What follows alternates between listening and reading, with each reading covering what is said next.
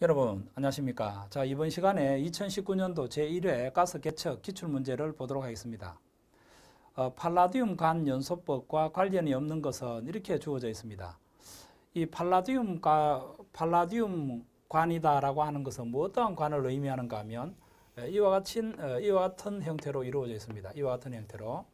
자 이렇게 이루어져 있습니다. 이렇게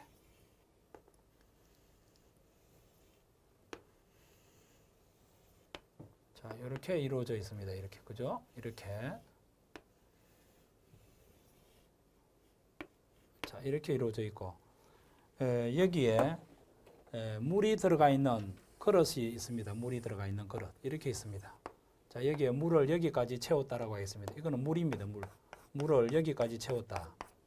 이 물의 온도는 보통 몇 도씨로 어, 하는가 하면 80도씨로 어, 이렇게 물을 예, 가열을 시킵니다. 그죠? 물을 이렇게 가열을 시킨다.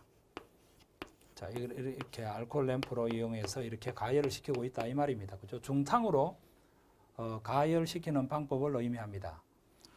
어, 그러면 이 유리관 속에 어, 이 유리관 속에 에, 여기에 무엇이 들어가 있는가 하면 에, 여기에 무엇이 들어가 있는가 하면 어, 팔라디움 석면이다. 그죠? 약 10% 정도의 석면이 함유되어 있는 10% 정도의 석면이 함유되어 있는 이 관을 우리가 팔라디움 관이라고 이야기합니다. 이 관을 우리가 팔라디움 관이다.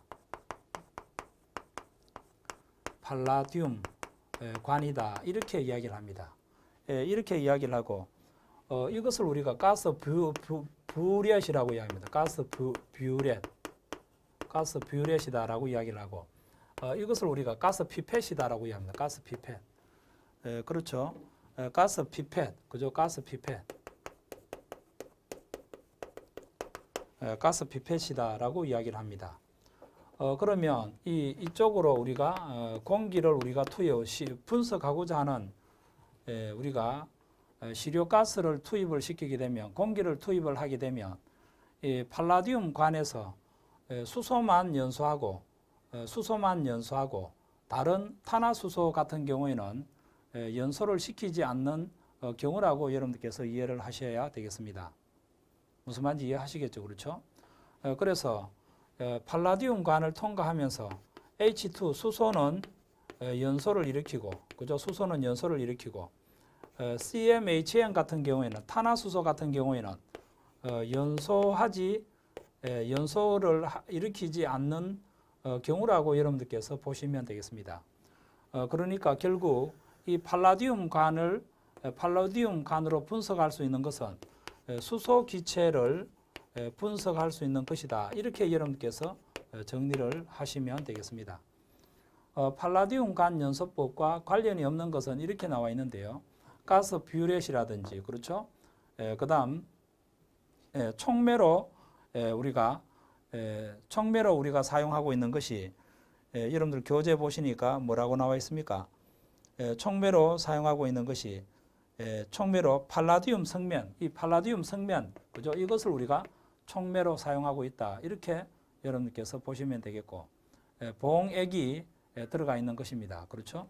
에, 그래서 관련이 없는 것은 과염소산, 이게 답이 되는 것이다. 이렇게 여러분께서 정리를 해 두시기 바랍니다. 자, 그 다음에 82번 문제 한번 보도록 하겠습니다. 82번 문제. 자, 탄화수소 성분에 의하여 감도가 좋고 노이즈가 적고 사용이 편리한 에, 장점이 있는 에, 가스 검출기를 우리가 뭐라고 이야기하는가? 탄화수소 성분이라고 하면 여러분께서는 불꽃 이온화 검출기, 에, 다른 말로 FID 수소 이온화 검출기 똑같은 말이 되겠습니다.